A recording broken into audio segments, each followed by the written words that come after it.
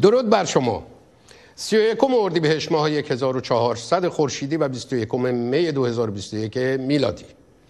در صفحه آخر امشب به مهندسی انتخابات ریاست جمهوری 1400 می‌پردازیم. پرده آخرم آخر برنامه.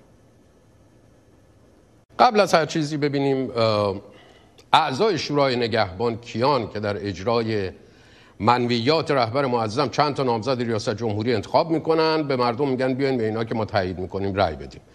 اعضای شورای نگهبان دوازده نفرن شش تاشونو میگن فقهای شورای نگهبان که مستقیم رهبر بهشون حکم میده که بشن عضو شورای نگهبان. یعنی رئیس مستقیمشون رهبره که باید فقط به او گزارش بدن. بیشترشون سه تاشون سه نفرشون عضو مجلس خبرگان رهبری هم هستن. یعنی هم باید بر انتخابات نظارت داشته باشن هم بر رفتار و سکنات رهبر. اون بقیهشون که نیستن دو تاشون البته سال 94 رای نیوردن که نشدن. حالا از منصوبان رهبر تو مجلس خبرگانشون رای نیوردن باری شش تا دیگه هم که ردیف دوم داریم می‌بینین بهشون میگن اعضای حقوقدان شورای نگهبان. ردیف زیر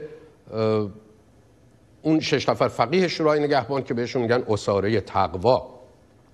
این شش تا حقوقدان رو رئیس قوه قضاییه که رهبر تعیین کرده این شش نفر رو معرفی می‌کنه به مجلس که نمایندگان مجلس همین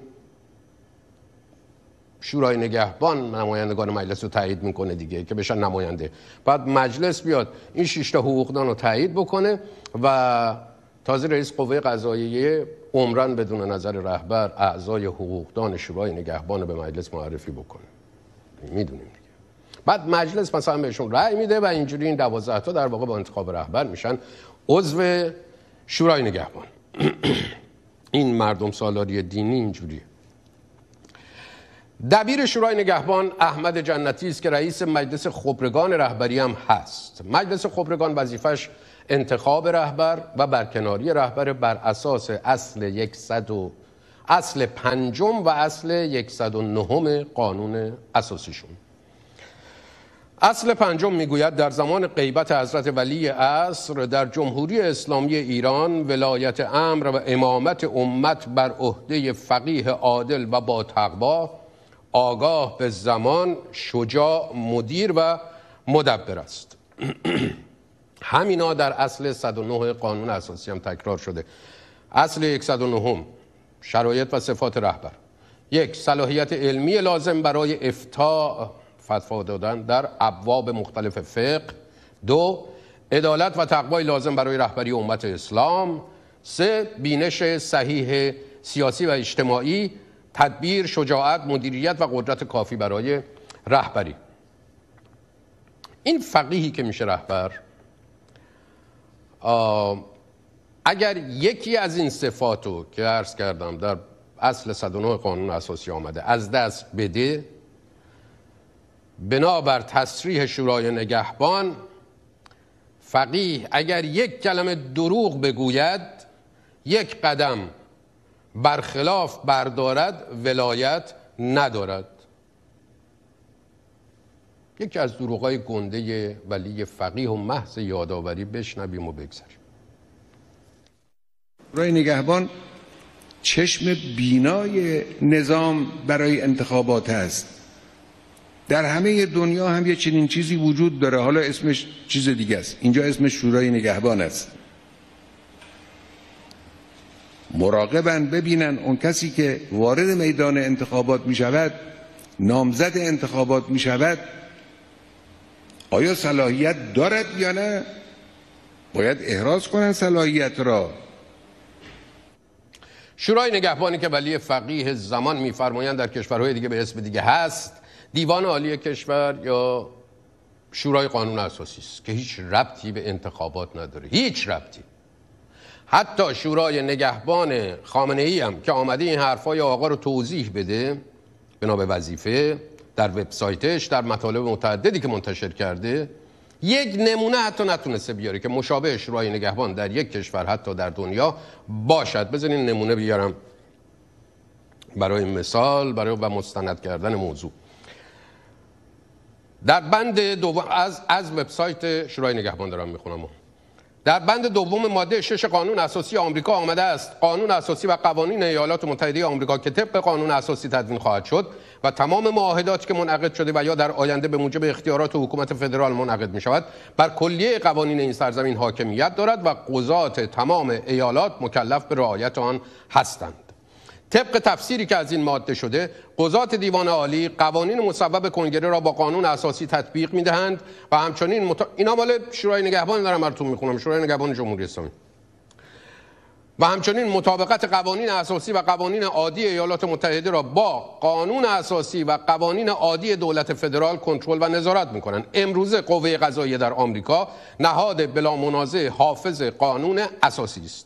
از موارد دیگر شیوه کنترل قوانین به وسیله دستگاه قضایی می توان به دیوان قانون اساسی در ترکیه و هند، دیوان عالی در ژاپن، لیبی، نیجر، دادگاه قانون اساسی در آلمان، روسیه، بلغارستان، اتریش، اسپانیا و کره جنوبی و دادگاه عالی قانون اساسی در سوریه، دیوان قانون اساسی در ایتالیا و محکمه نقد در مصر اشاره کرد که کماویش اختیارات مشابهی دارند. کدوم اختیارات مشابه؟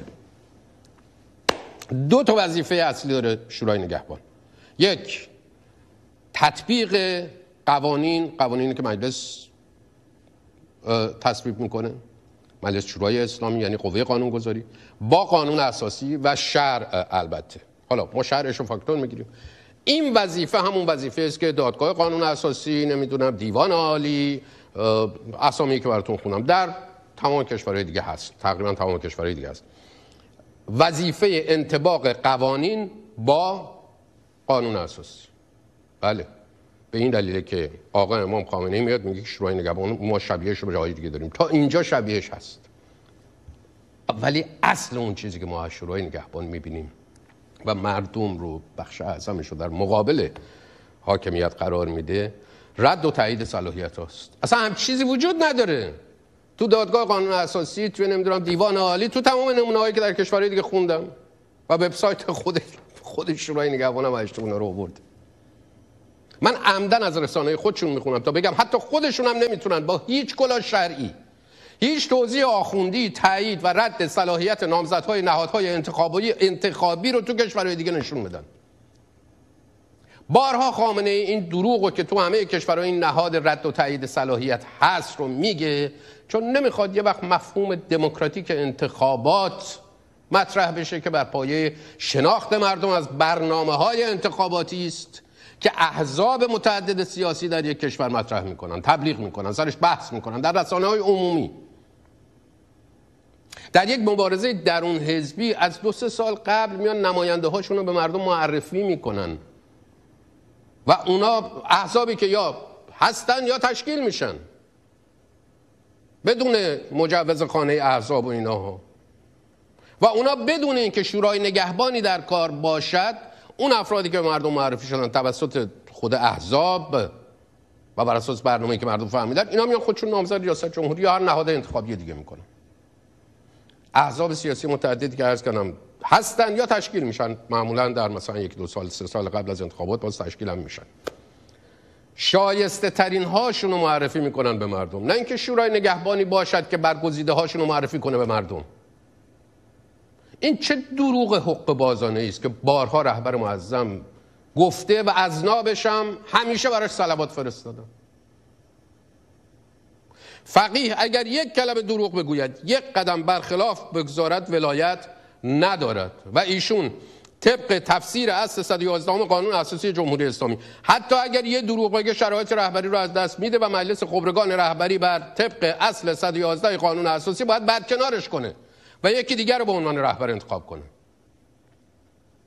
تفسیر شورای نگهبان دیگه. ببینین اصل 111 هم میگه هرگاه رهبر از انجام وظایف قانونی خود ناتوان شود یا فاقد یکی از شرایط مذکور در اصول پنجم و 109 که براتون خوندم گردد یا معلوم شود از آغاز فاقد بعضی از شرایط بوده است که یادتون بیاد من خونگری باید کرد برای بر ملتی که من رهبرشون باید باشم. یا معلوم شود از آغاز فاقد بعضی از شرایط بوده است از مقام خود برکنار خواهد شد. تشخیص این امر بر عهده خبرگان مذکور در اصل 108 است که همین خبرگان. حالا ببینین چجوری همین همین اصول قانون اساسی خودشون رو مبتزل می‌کنن. نسخه مبتزل همین اصل 111 هم که مربوط به وظیفه مجلس خبرگانه رو الان بشنوید. از رئیس مجلس خبرگان هست آیت الله جنتی. وظیفه خبرگان چیه؟ خبرگان نه که این ولایت را حفظ بکنه. از این ولایت دفاع بکنه. مواضع این ولایت را کاملا بتوانه رعایت بکنه پیاده بکنه. ما در صف اول باید باشیم. این وظیفه همه مسلمان های این مملکته. همه شیعیان علی ابن ابی طالبه همه مردم این مملکته. همه باید این کارو بکنن. ولی امر اطاعتش واجبه. ولی اولویت و علما و خبر خبرگان عزیزه. خب ما باید این کار چه بکنیم؟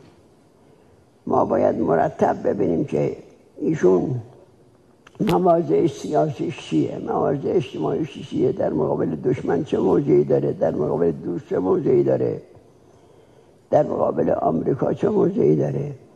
همون مواضع رو هم ما خودمون داشته باشیم هم به دیگران هم بفهمونیم که موضع همینه موضع حق همینه هرچی غیر از این باشه زلالته. ایشون رئیس خبرگان رهبری که میگن وظیفه مجلس خبرگان اینه. وظیفه مجلس خبرگان در اصل صد و یازدهم قانون اساسی نصب و ازل رهبر. کو؟ میگم ابتزال قانون اساسی دست خود آخونده است. قانون اساسی خودشون حتی. کارشون همیشه این بوده که در شورای نگهبان مردم از نامزد شدن محروم بکنن از تعیین سرنوشت خودشون محروم بکنن در مجلس خبرگان خامنه ای رو به عنوان رهبر تایید بکنن. احمد جنتی 95 ساله. ایشون متولد 1305 در اصفهان 42 سال پیشنی از اسفند 58 که با حکم خمینی شد عضو شورای نگهبان همچنان در این شوراست 29 سال دبیر و همه کاره شورای نگهبان از سال 71 1371 سمت های دیگرش همزمان با دبیری شورای نگهبان. رئیس مجلس خبرگان رهبری عضو مجمع تشخیص مسلحت نظام عضو شورای عالی انقلاب فرهنگی فلان فلان فلان.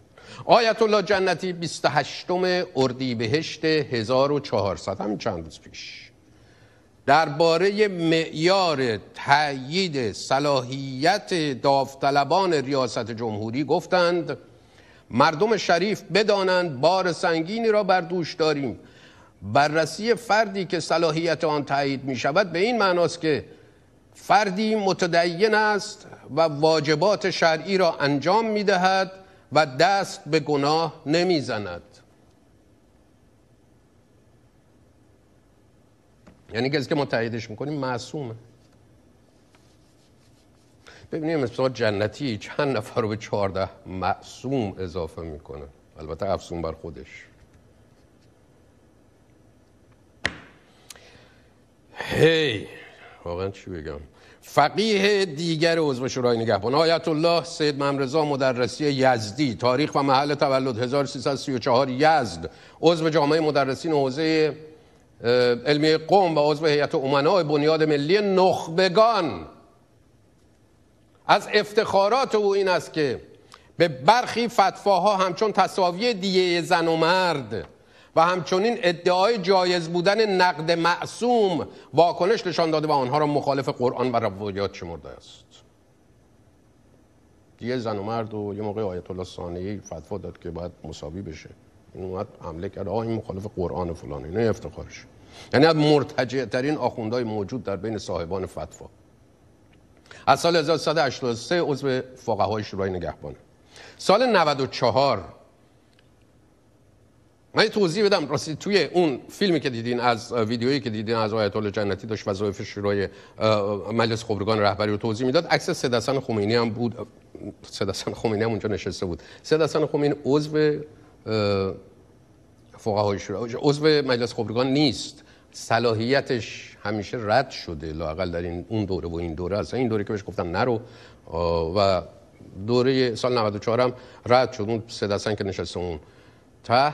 نیست. اونجا به خاطر اینکه اعضای مجلس خبرگان رهبری جمع شده بودن برای اینکه تجدید بیعت بکنن با رهبر انقلاب و اینا. حالا خب سید حسن هم همیشه این تجدید بیعت ها همیشه همه جا حضور داره.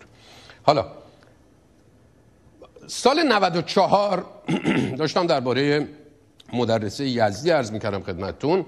سال 94 همین مدرسه یزدی عضو فقهای شورای نگهبان و شرکاش در شورای نگهبان صلاحیت همین سید حسن خمینی رو برای انتخابات مجلس خبرگان رد کردن بعد همین مدرسه یزدی برای مجلس خبرگان نامزد شده بود. همزمان عضو شورای نگهبان مو صلاحیت رو بررسی می‌کرد. نامزد شده بود. کسایی که رفتن رأی دادن مثلا به نماینده های مجلس خبرگان رأی به اینم ندادن. یعنی همین مدرسه یزدی رأی نیاورد. منصوب آقا. و با قرارگیری در جایگاه 25 استان تهران از راهیابی به این مجلس باز ماند. خب خیلی بده که منصوب رهبر معظم رأی نیاره. بود دیگه. بابای این آقا سید جواد مدرسی یزدی اسم بابای همین عضو شورای فقها شورای نگهبانه. معلم سید علی در حوزه علمی قوم بود. فقیه دیگر عضو شورای نگهبان که رهبر معظم بهش حکم داده که به عنوان اساره تقوا بشینه بغل دست بقیه در جمع فقهای شورای نگهبان. شیخ صادق اردشیر لاریجانی. اسم اردشیر البته چون تاقوتیه میگن صادق آمولی لاریجانی. تاریخ و محل تولد 1339 نجف. غیر از نزدیک ده سالی که رئیس قوه قضاییه بود در 23 سال گذشته هم تو مجلس خبرگان بوده هم عضو شورای نگهبان. از سال 1397 هم که کارش توی قوه قضاییه تموم شد. شده رئیس مجمع تشخیص مسلحت نظام. رئیس مجمع تشخیص. به عنوان جایزه که از رهبر معظم دریافت کرد بابت مدیریت ده سال فساد در قوه قضاییه زیر دستش. یکی از فسادهایی که مدیریت کرد یادتونه 63 حساب بانکی بود که به امضای شخص او می‌شد در تمام این سالها ازش پول دریافت کرد. سود سپرده های این حسابا رو تا ماهانه 22 میلیارد تومن ماهانه محاسبه کردن. خبر دقیقی که نیست از میزان سپرده ها و سود سپرده این حساب های شخصی رئیس قوه قضاییه. از یه همچین موضوع مهمی توی مملکت میشه خبری نباشه. نیست. وجود نداره.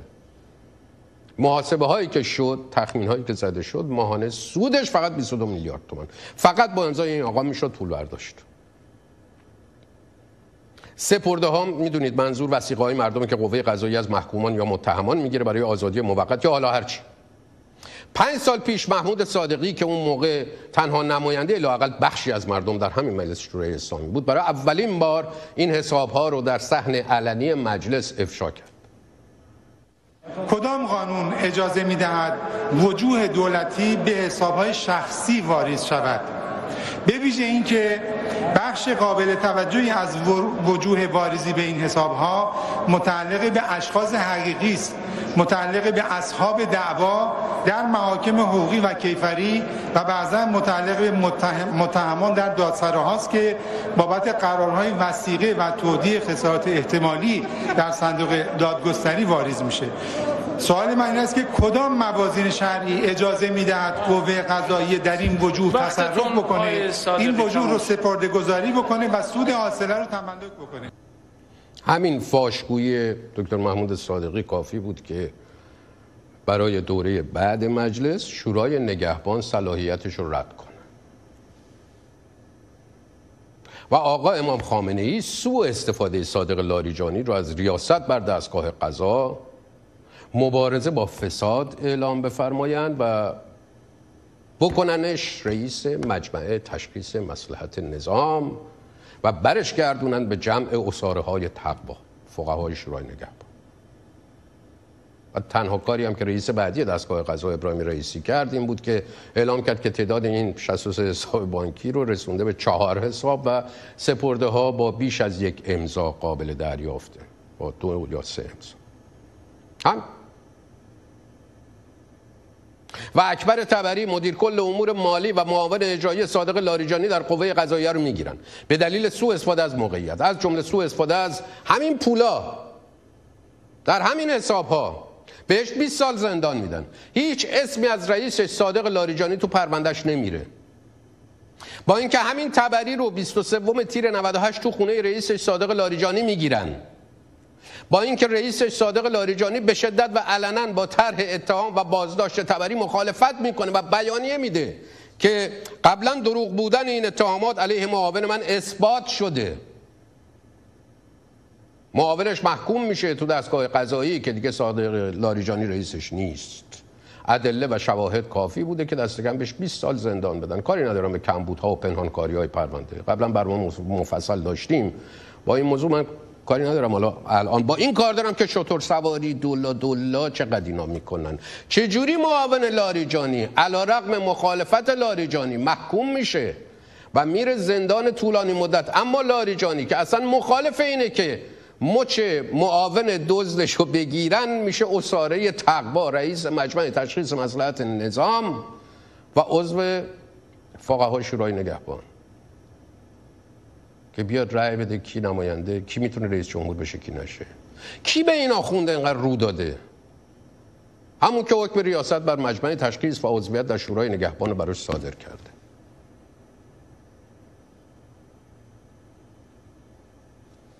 اینا میشه یکی دیگه از فقهای شورای نگهبان که با حکم مستقیم خامنه ای هم مسئلهت نظام و با ریاستش بر مجمع تشخیص تشخیص میده. و ابلاغ می‌کنه و هم در شورای نگهبان صلاحیت امثال محمود صادقی رو رد می‌کنه. واقعا تقوای اینا با تقوای آقای امام خامنه ای رقابت می‌کنه. عضو دیگر شورای نگهبان فقهای شورای نگهبان آیت الله مهدی شب زنده دار. تاریخ و محل تولد 1332 داراب. از سال 92 با حکم پیشوا شد عضو فقهای شورای نگهبان. و چون بر اساس قانونشون فقهای شورای نگهبان عضو مجمع تشخیص هم به طور اتوماتیک هستن همون سال 92 آیت الله رزوانی که عضو مجلس خبرگان بود ببخشید عضو شورای نگهبان بود. عضو مجمع تشخیص بود. چی میگم؟ اینا رو من قاطی کردم. عضو مجمع تشخیص بود. مرد شب زنده دار رفت جاش نشست که قانون رعایت بشه شب زنده دار عضو آیت الله مهدی شب زنده دار عضو هیئت امنای جامعه المصطفى است. که من نمی‌دونم چه ربطی به شورای نگهبان داره. که حضرت آقایشون گذاشتن جزو اصاره های تقواشون جامعه المصطفى نهاد اصلی صدور انقلاب اسلامی به قول خودشون در 60 کشور پایگاه زده نمایندگی داره. من متن خود توضیح جامعه المصطفى رو رو سایتش می‌کنم میگه بازوی اصلی جمهوری اسلامی است در گسترش اسلام که به اسم مدارس اسلامی و مراکز اسلامی و اینها. میگه وظیفه اصلی جامعه المصطفى انتخاب و اعزام نفرات مستعد برای آموزش های اسلامی شیعه است؟ در واقع این مرکز اصلی ترین مرکز آموزش نیروهای خارجی در تشکیلات حوزوی و اعزام طلبه به کشورهای مختلف است. گسترش تروریسم.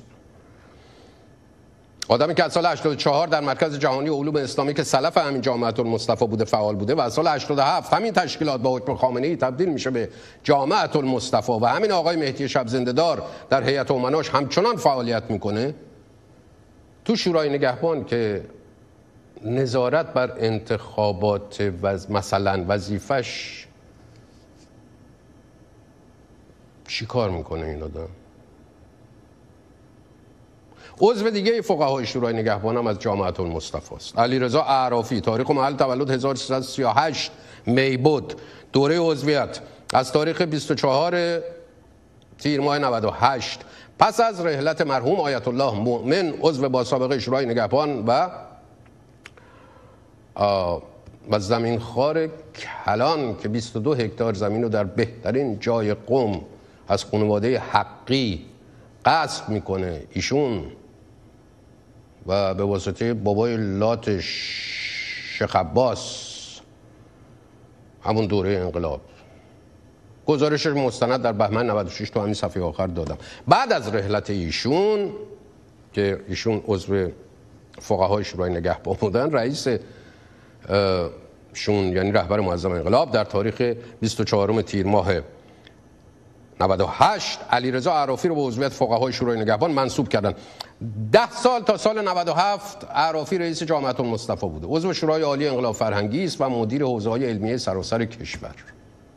همون سالی که سید حسن خمینی رو شورای نگهبان رد صلاحیت کرد علیرضا عرافی هم تو انتخابات خبرگانشون شرکت کرد. اما رأی کافی برای ورود به مجلس خبرگان رهبری رو به دست نیاورد. یعنی این منصوب پیشوا هم اصاره تقوا هم رأی نیاورد. عرافی در سال 81 با حکم پیشوا شد رئیس مرکز جهانی علوم اسلامی. از سال 87 هم شد رئیس جامعه المصطفى جامعه المصطفى رو آمریکا به دلیل کمک به نیروی قدس در تربیت تروریست از جمله عضوگیری شبه نظامیان خارجی تحریم کرد عضو دیگر فقهای شورای نگهبان احمد خاتمی تاریخ و محل تولد 1339 سمنان. در تاریخ 11 آبان 1399 آیت الله محمد یزدی به علت عوارض جسمی و کهولت سن از عضویت شورای نگهبان استعفا دادند و بعد مردند و حضرت آیت الله خامنه آیت الله سید احمد خاتمی را به جای ایشان به عضویت شورای نگهبان منصوب کردند. آیت الله یزدی که از اول انقلاب و ساره تقوا بود و عضو شورای نگهبان. همون نیست که لاستیک دنا رو مصادره کرد و چون حمیدش به قول عباس پالیستار بیکار بود بخشی از جنگل های شمال رو دادن بهش تا به از بین بردن جنگل و تجارت چوب مشغول باشه اشتغال داشته باشه. احمد خاتمی که جایگزین یزدی شده عضو هیئت عضو هیئت رئیسه مجلس خبرگان رهبری هم هست و داره تحت نظر رئیس مجلس خبرگان که همون برادر نوح پیامبره همون 95 ساله از ولی فقیه حفاظت می‌کنه. درباره احمد خاتمی هم یک نکته اطلاعی عرض کنم و که احتمالا نشنیدین و بگذارم ابوالقاسم اقبالیان در کتاب حجره شماره دو که جلدشو دارین می‌بینین که شامل خاطرات او از زمان جنگ است نوشته است چند نفر از روحانیون را برای یک شب در زمان جنگ به مقر خود در اهواز می‌برد اما یکی از آن روحانیون که بسیار ترسیده بود با اصرار و التماس می‌گوید شما رو به خدا ما رو همین امشب برگردون. و وقتی اقبالیان پاسخ می‌دهد که یک شب اینجا بمانید تا بفهمید بسیجی ها چه سختی هایی را تحمل می‌کنند. اون آقا آخونده پاسخ می‌داد آقای اقبالیان اینا وظیفهشونه که بجنگن. منم وظیفم اینه که درس بخونم. آقای منتظری گفته در آینده مجتهد میشم. جواد موگویی مستندساز با اشاره به این مطلب از نویسنده پرسجو می کند و نویسنده یعنی آقای اقبالیان می‌گوید این فرد احمد خاتمی بوده است. اینا یه همچین اصاره های تقوایی که خامنه جمعشون کرده تو شورای نگهبان و همشون هم ادعای انقلابی بودن جنگ در جبهه بودن مبارزه داشتن فلان داشتن اینا.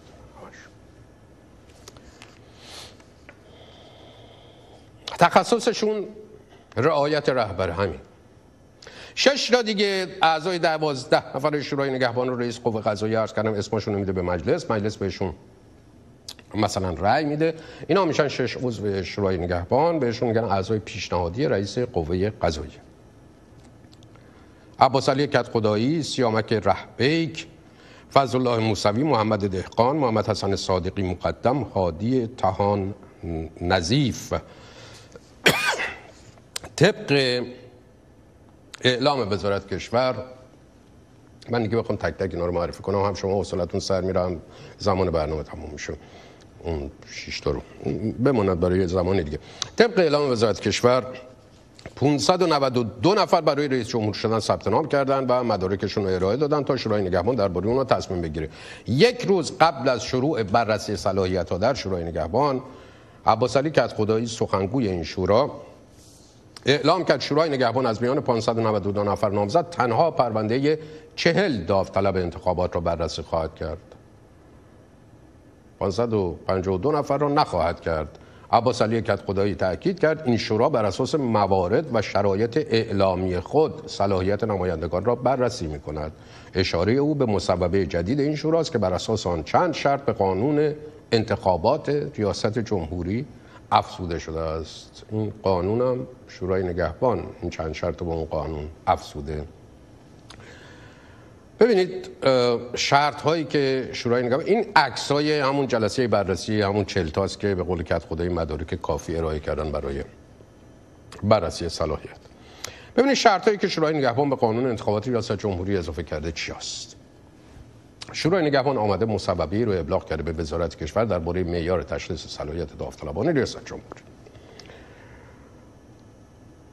شرط سنی گذاشته که کمتر از 40 سال نب... 40 ساله نباشن بیشتر از 70 ساله نباشن تو اعتراضات سال 88 نبوده باشن و غیره.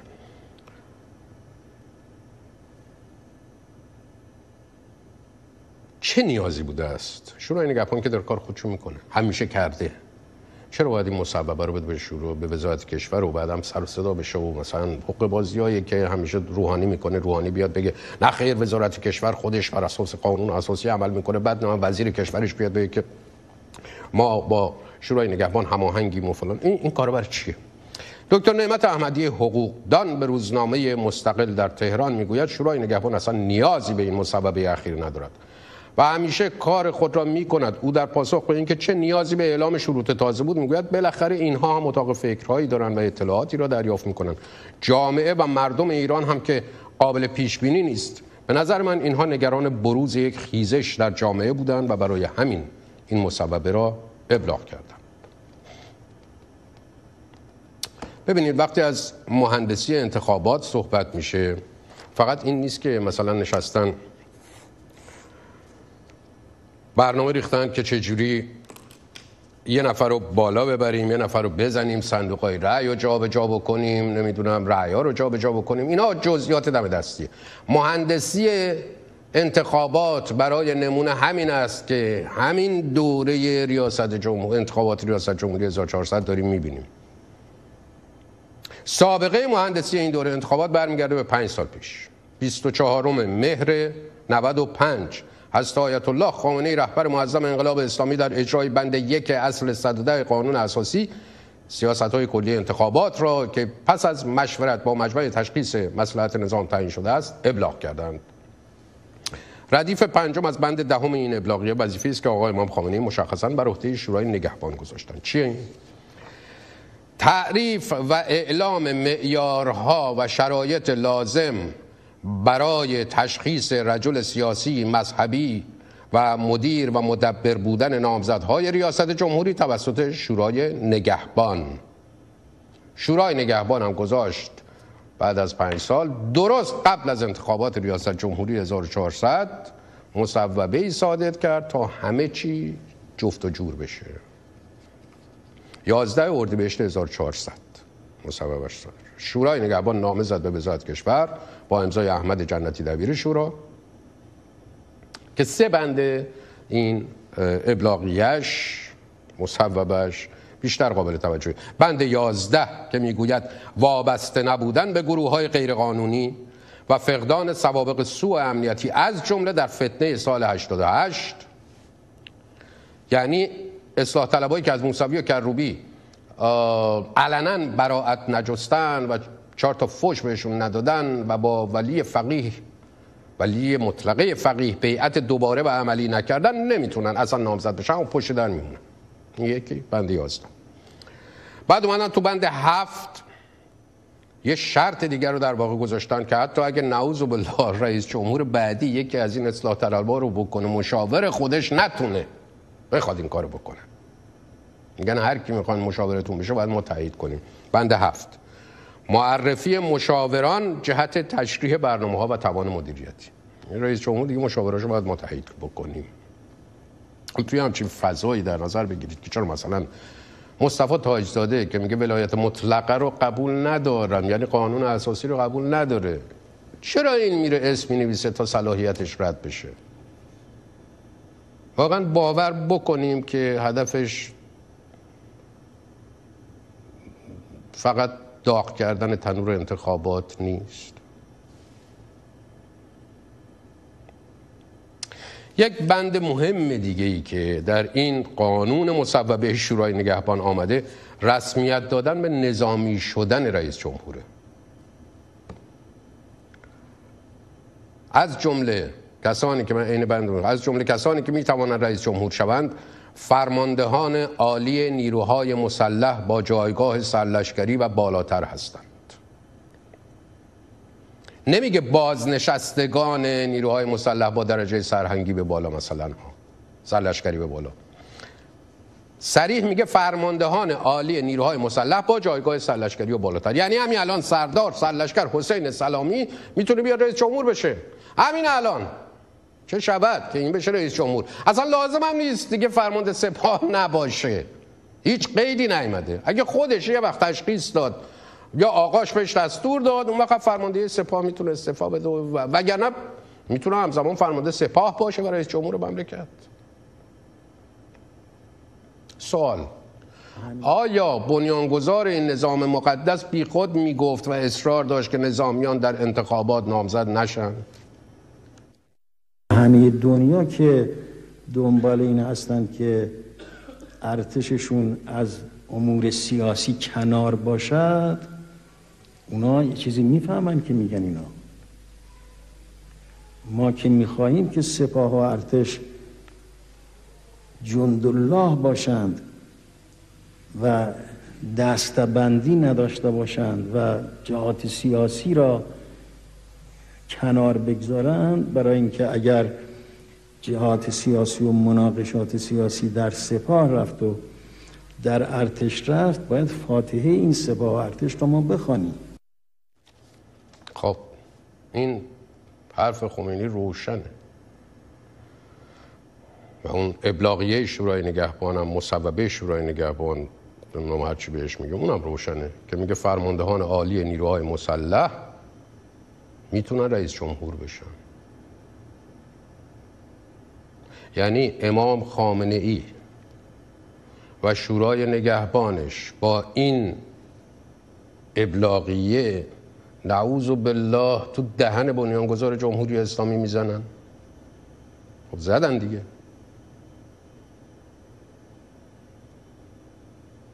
در خدمت آقای دکتر نعمت احمدی هستیم حقوقدان در تهران. آقای دکتر خیلی خوشحالم در خدمتتونم و سپاسگزارم که در امشب صفحه آخر حضور دارید. ببینید این تعریف معیارها و شرایط لازم برای نامزدهای ریاست جمهوری در قوانین جمهوری اسلامی وظیفه شورای نگهبان یا وظیفه قانونگذار یعنی وظیفه مجلس شورای اسلامی است. نیاز به قانونگذاری هست برای اینکه شرایط ریاست جمهوری تعیین مشخص بشه یا نه. سلام خدمت شما و بینندگان. من تعجب می‌کنم همینطور که در مصاحبه قبلی من گفتم شورای نگهبان چه لزومی داشت بیاد چنین مصوبه ای داشته باشید که اصلا همچنین جواز و اجازه ای نداره. اگر این سیاست های پلی را نگاه کنیم این اجازه داده نشده چون در بند بندش ما یک نسل داریم یک روح داریم. در بند بند این گفته مطابق قوانین مطابق قوانین. شورای نگهبان در دورهای گذشته 1500 نفر اسم نوشتن در یک بازه زمانی 6 روزه که هرچند 5 روزه 5 روزه می‌تونه اضافه کنه. و پرونده 1600 نفر رسید هفت نفر. هیچ موقع ما دو رقمی نداشتیم. یعنی ده نفره نداشتیم تایید بشن. من نمی‌دونم شورای نگهبان چرا این دوره ای آمد. آنچه که در خفا انجام می‌داد آمد این رو علن بکنه و علن با این کیفیت انجام بده. و من تعجب می‌کنم. شاید اتاق فکری باشه شاید همون غیر قابل پیش بودن مردم ایران رو تشخیص دادن. فکر کردن یک دفعه ما از سال 76 تا الان در تمام انتخابات ها در تمام انتخابات ها یک دوگانه مردم و حاکمیت رو داشتیم.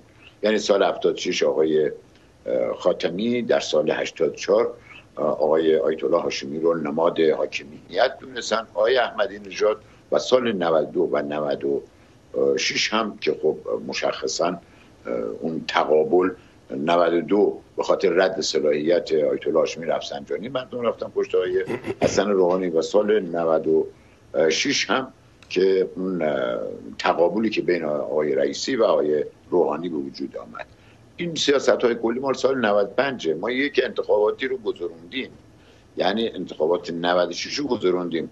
فیل واقع من نمی‌دونم چه اصراری هم داره آقای کت خدایی هی اصرار کنه که ما در چارچوب قانون داریم مدکر بکنه نه عزیز من. فیل واقع باید اینو یک نگاه جناهی یا یک ترس جناهی از نظر, از نظر من دانست.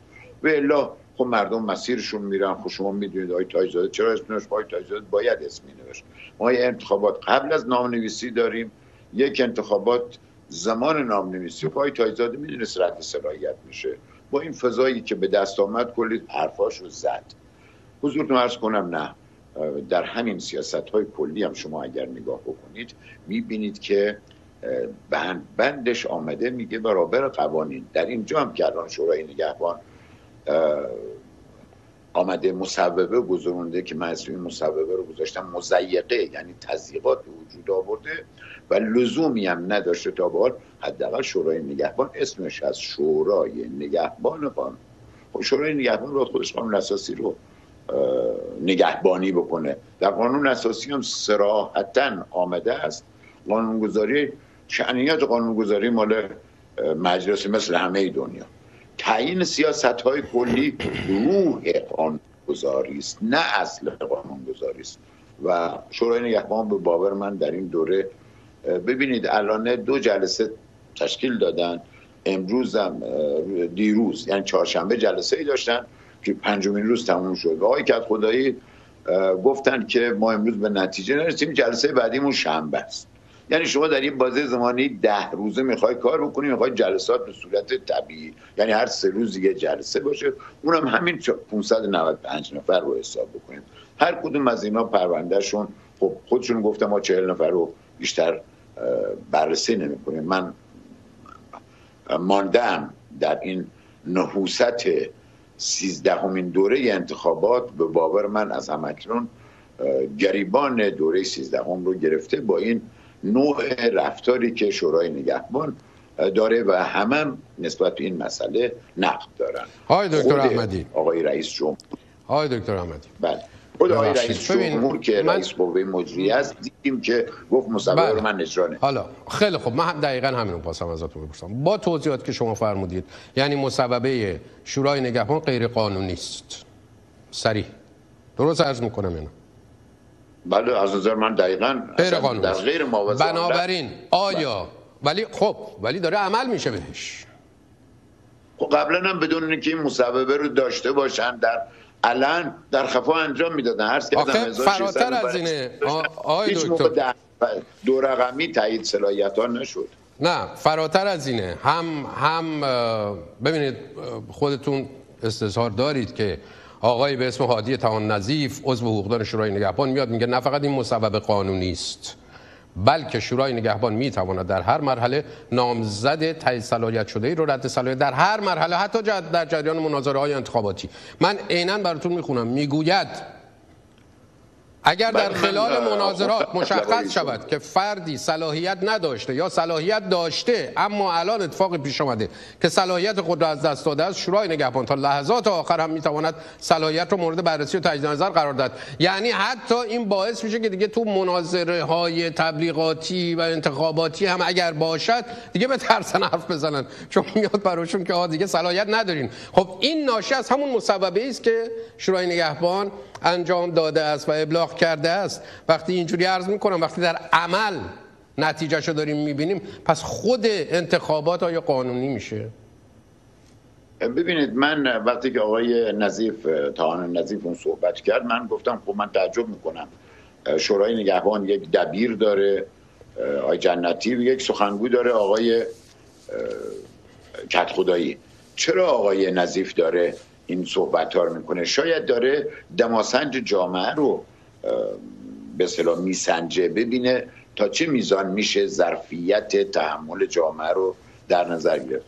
ببین جناب فراحتی عملکرد شورای نگهبان دیگه بر همه روشنه. خروجیش بوده که یک مجلس یازدهم هم با اقل نیرو. و نگاه شورای نگهبان هم دیگه اینه. آقای جنتی میفرمان که ما اسمت می‌خوایم یعنی نماز خون باشه. کافی از نظر ایشون اسمت رو هم گفت گناه نکنه گناه نکنه. و آقای کت خدایی هم برگشتن گفتن که ما کم بوده یعنی مردم هم اقبالی به انتخابات نداشته باشن هم چه خیلی مطمئن در واقع شورای نگهبان داره به باور من کاری می‌کنه که این دوره انتخابات اون جناحبندی یا اون قطب و اون غیر قابل پیش بینی مردم ایران شکل نگیره. یعنی در اون 7 نفری هم که تایید خواهد کرد من فکر کنم 7 نفر تایید بکنن. چون اخبار متواتر این ورور شنیده چینش صندلی هایی که در رادیو تلویزیون بوده ظاهرا زیر عدد ده نفر هست که برحال ما هم آدمایی داریم گفتار پخش میشه. بله. همینطور اونا دارن خب و شورای نگهبان دوست نداره انتخابات پرشور باشه. من بر این باورم. آقای دکتر احمدی عزیز یک سوال دیگه عرض کنم خدمتتون. ببینید شما مکرر در پاسخ به پرسش اول من فرمودید که اجازه داده نشده در ابلاغیه‌ای که یعنی در دستوری که رهبری به شورای نگهبان داد در سال 95 برای تعریف و اعلام معیارها و شرایط لازم برای تشخیص رجل سیاسی مذهبی فلان فلان در اونجا رعایت قانون همه جا ذکر شده و به شورای نگهبان گفته نشده که غیر قانونی عمل کنید. من یه بار دیگه اجازه بخونم اینو. اون دستور رهبر به رهبر جمهوری اسلامی. به شورای نگهبان این است. تعریف و اعلام معیارها و شرایط لازم برای تشخیص رجل سیاسی مذهبی و مدیر و مدبر بودن نامزدهای ریاست جمهوری توسط شورای نگهبان. آیا این سریع ازتون می‌پرسم هر دلتون می‌خواد جواب بدید. آیا مشکل اصلی از ابلاغیه خود رهبر نیست؟ نگاه رهبر به شورای نگهبان و به کل انتخابات نیست.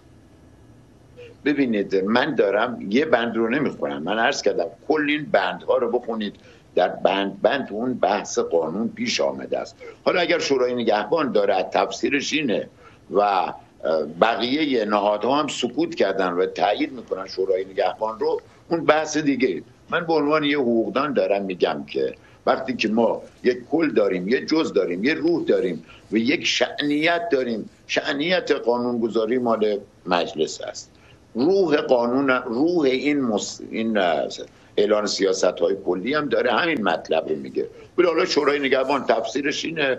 خب شورای نگهبان تفسیر قانون اساسی هم بر عهدهشه. یعنی این این دیگه خیلی خب عجیبه. شورای نگهبان حدود اختیارات خودش خودش باید تعریف کنه وقتی برای قانون اساسی حدود اختیارات خودش تعریف می‌کنه. و نظارت استصوابی رو نظارت رو توسعه میده. اینجا اومده از این بحثی که می‌شود از نظر حقوقی. می‌شود. جناب فراتی عرض می‌کنم می‌شود. با تکه بر مواد دیگه گونه دیگه تفسیر کرد و ساعتها من بشینم با آقای کت خدایی بحث کنم با همین بندهای این بگم آقای کت خدایی شما اشتباه از این برداشت می‌کنید با تکه بر این بر این. ولی خب الان ایشون وقتی که فعال مایشا هستن من گفته های شما رو میپذیرم. بسیار سپاسگزارم آقای دکتر نعمت احمدی که در خدمتتون بودیم. در این یک ساعت بعد از نیمه شب تهران و مزرعه شما. هستم. در سابه سپاس گذارم ازتون. ببینید خامنه شورای نگهبان معمور می‌کنه همه آمادگی ها رو داشته باشن حتی نظامیان رئیس جمهور بکنن اگر لازم باشه اگر ببینن که اوضاع داره از دست میره. شکی نیست که خامنه‌ای به شورای نگهبان بسیار بیش از همه نهادهای دیگر حکومت اعتماد داره چون شش تاشون خودش مستقیم گمارده و شش تاشون رو به رئیس قوه قضاییه گفته بگمار. دوازده نفر هم بیشتر نیستن و کنترلشون بسیار آسانه. بنابراین کارهای اساسی مربوط به نهادهای انتخابی رو از طریق همین معتمدینش یعنی شورای نگهبان سازمان و سامان میده. اینجوریه که می‌بینیم یک طرف یک طرف در واقع می‌خواستم بگم فضای انتخاباتی نه. یک طرف در ایران این دوازده نفرن. یک طرف 84 میلیون جمعیت کشور که بیش از 50 میلیون نفرشون طبق آمار رسمی وزارت کشور حق رأی دارن. و سرنوشت خودشون می‌خوان تعیین کنن. اصولا نهادهای انتخابی در حکومت مطلقه فقیه یه دردسر بزرگ همیشگی است.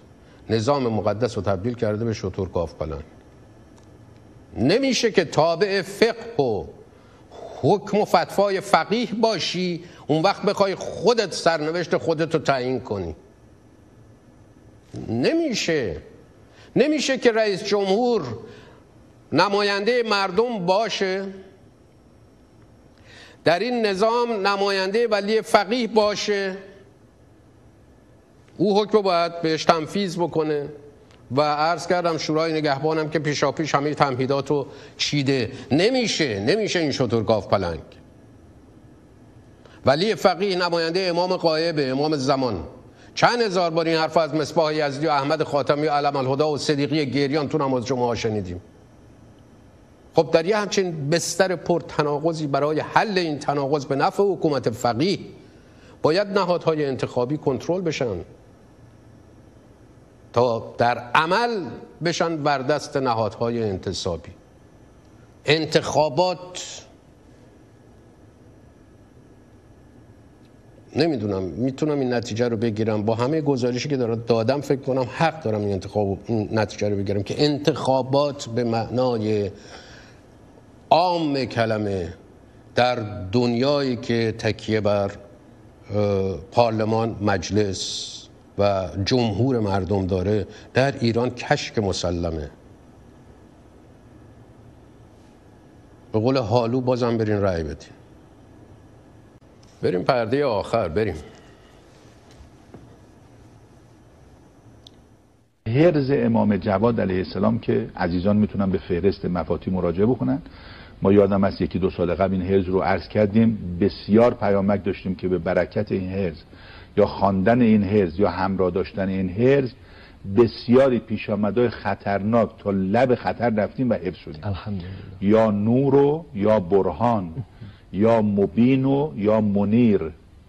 یا رب اکفن الشرور. و آفات دهور و اسأل و کن نجاه یوم ینفخ فی اینو بخونن یا بنویسن یا همراهشون بنویسن همراهشون باشه. یا تو ماشینشون همراهشون باشه تو جیبشون باشه. من همیشه مقیدم تو جیبم باشه. مرحوم آیت الله بادری میفهمیدم من جلو پیش روی چشمم. یه کسی سنگ مثلا سه چهار کیلویی زد به سر یه نفر. دیدم بلند شد یه خدشم به سرش وارد نشد. تعجب کردم که من جلو چشمم دیدم. گفت من هرز امام جواد علیه السلام همراهم بوده.